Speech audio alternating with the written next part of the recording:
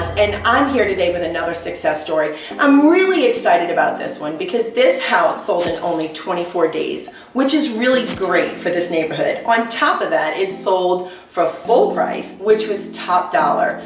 So this has been a really awesome experience.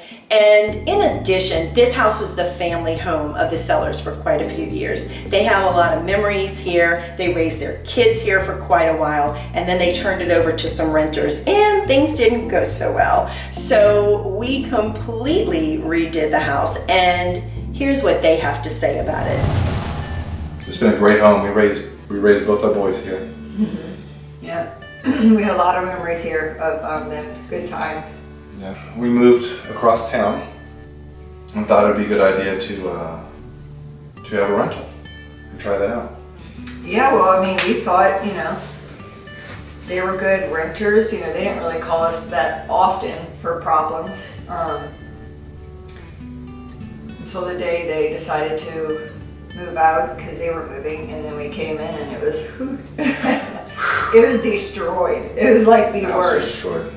They kicked in every door frame, holes in every single wall of the house. They ripped up some of the carpet.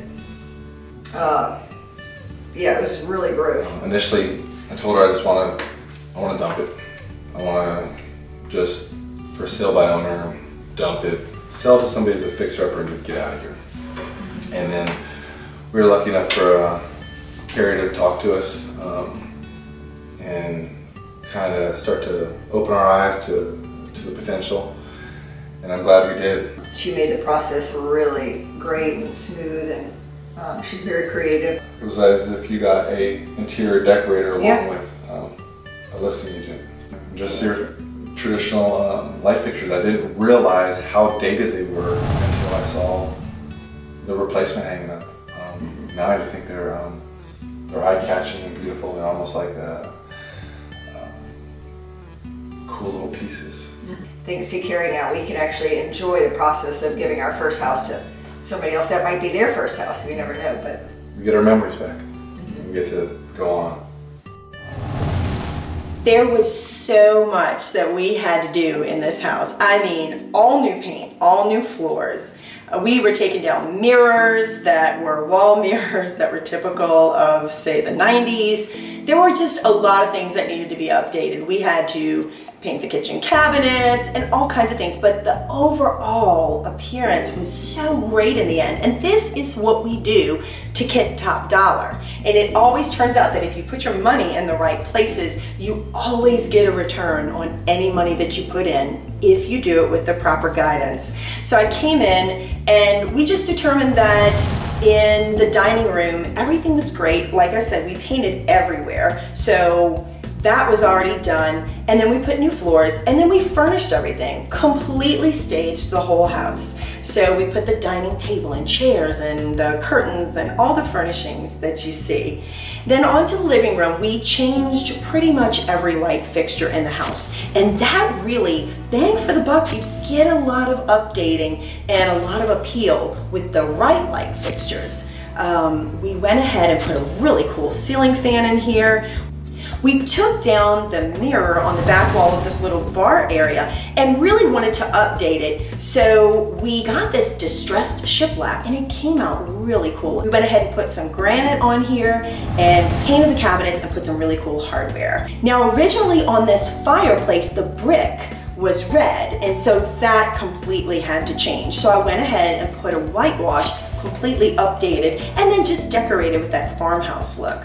We put new curtains on the sides of the windows here. I would have preferred to go all the way up, but since the windows made that little curve, it was impossible to do. So we just went with the shorter curtains. Not my preference, but that's what we had to do. Now in the kitchen, we went ahead and painted the yellow oak cabinets, this beautiful white, brightened up the whole thing. We had a warmer granite to deal with, so we kept all the colors a bit warmer. The light fixture went with a dark iron and darker wood, but the style of it was so appealing that it was a great design feature. I think it worked out really well. Again, we went ahead and staged everything, furnishings and decor, and the whole thing really came together. The master bedroom, we went ahead and there was a dilemma, were we gonna put carpet, were we gonna put the wood flooring? And we went ahead with the wood flooring because for the difference in price, it wasn't worth it. We went ahead and put the high curtains, the beautiful bedding, and this room came out really nice and luxurious. In the master bath, we went ahead and painted the cabinet and put a lighter type granite, and that came out really pretty, and just dressed it up with a few decorations. Now upstairs was a really great space and a lot of it had to do with this loft area. So great for kids or guests to have a separate area to relax for themselves. That came out really beautiful and we staged it fully furnished because we always want to show a use for a space. This is how you sell a space. Don't leave something like this undone. If there's no purpose for it visually, chances are the buyers are not going to imagine a purpose for it. This gives them the ability to imagine themselves living here and their kids hanging out on this sofa. It works really well. And then as far as the other bedrooms go, we just furnished it with the appropriate size bed for the space. And it came out really beautiful. Now as far as the exterior of the house, we gave it a fresh coat of paint and we painted the shutters a darker color, re-landscaped a little bit, didn't spend a ton of money, definitely got a huge return on this investment. And in the end, it all turned out so well. The seller's happy, and if the seller's happy, I am so happy. Thanks for watching. I'm Kerri Lawless.